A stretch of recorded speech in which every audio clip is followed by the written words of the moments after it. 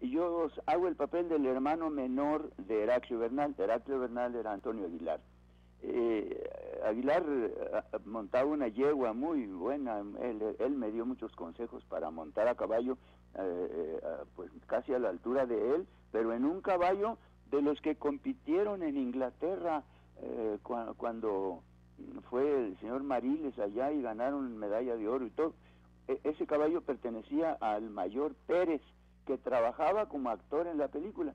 Y cuando vio que me habían dado un caballo que no servía, él me prestó su caballo, un caballo blanco sensacional. Entonces la, la escena era que teníamos que aparecer de por allá del fondo, de unas ramas por allá, unos matorrales, teníamos que aparecer a toda velocidad a caballo, a Antonio Hilario, y ya frente a las cámaras había un como arroyuelo de unos dos metros de ancho, y teníamos que brincar con los caballos y ya salir de la escena y esperar allá que nos alcanzaran, eh, que venían detrás de nosotros también a toda velocidad, los otros hermanos de Heraclio Bernal, y detrás de ellos 40 soldados a caballo. Y brincamos nosotros y nos paramos donde teníamos que pararnos, y, pero no llegaron los demás, y nos asomamos, se habían caído sus caballos en el arroyo aquel, uh, tardaron mucho en, en tablillar brazos que se rompieron, fue un desastre y, el, fotógrafo era Gabriel Figueroa. Y nosotros, eh, Antonio Aguilar, nos regresamos a ver aquello, que, lo que había ocurrido, y a esperar que se arreglara todo para continuar trabajando.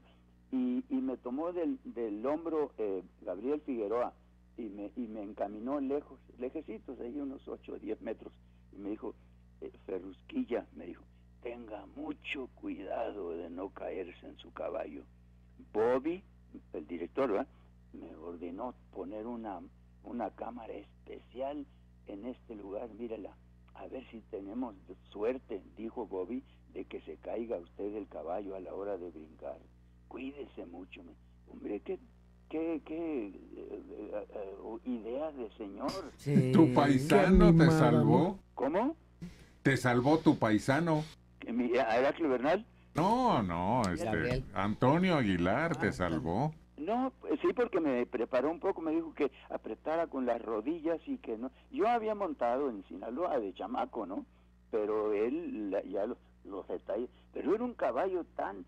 Creí el caballo que todo era competencia. Y hay una escena en que va una camioneta allá abierta de la parte de atrás con las cámaras viendo hacia atrás la camioneta. Va, yo creo que a unos 50, 60 kilómetros por hora y detrás de la camioneta vamos muy volando, en otra escena, ¿no? En otra escena, en una carretera. Vamos eh, Antonio Aguilar y yo, Antonio a mi derecha y yo a su izquierda, a la izquierda. Y, y este, el caballo era más fuerte que la yegua. Y cuando mi caballo eh, lo trataba yo de controlar, pero sin embargo le ganaba ya la yegua por una cabeza y no tenía que ser así, tenía que ir adelantito el, la yegua, que se suponía que era caballo, en la que iba este Antonio Aguilar. Entonces agachaba así la cabeza para taparse con el sombrero la boca y que la cámara no viera que me hablaba. Y me decía, controla tu caballo, mi Ferrus, controla tu caballo. Y yo le jalaba la rienda al caballo, pero ese caballo era, de veras, creía que era, creía que era todo competencia, ¿no? Pero sí salieron bien las escenas. Tres películas hicimos. Allí se enamoraron Antonio Aguilar y Flor Silvestre. Cuéntanos el chisme. ¿Cómo no? El ejército nos hizo... En el Chico no había hotel, es un, es un pueblo muy chiquito, a 30 kilómetros más o menos de Pachuca. Y entonces eh, el ejército hizo un campamento de una lona como con hule, así muy, muy fuerte, un campamento grande para que vivieran todas las mujeres. Eran muchas, porque eran tres películas a la vez. Y iba retiradito ahí como unos 50, 100 metros, otro campamento eh, con la misma consistencia y todo para todos los hombres.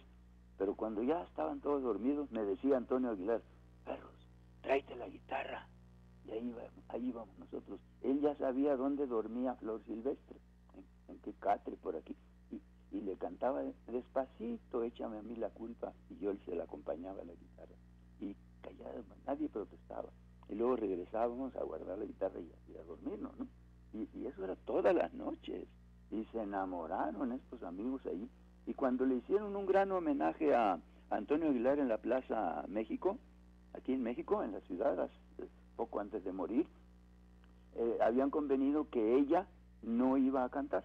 Ella estaba escondida por allí, no sé dónde. Y yo lo leí en un periódico de la Ciudad de México, lo leía allá en Mazatlán.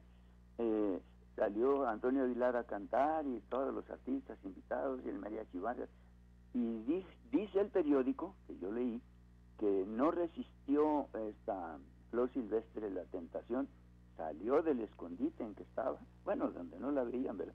Y subió al escenario, le aplaudieron y le dijo al mariachi, acompáñame a mí la culpa en tal tono, y que se la cantó a Antonio Aguilar allí, recordando la forma pues en que ellos se, se habían enamorado en el chico Hidalgo. Oye, muy hermoso. Muchas gracias, Ferros. Mucho gusto en saludarlos. Hasta luego. Hasta la próxima. Hasta muy luego. Adiós.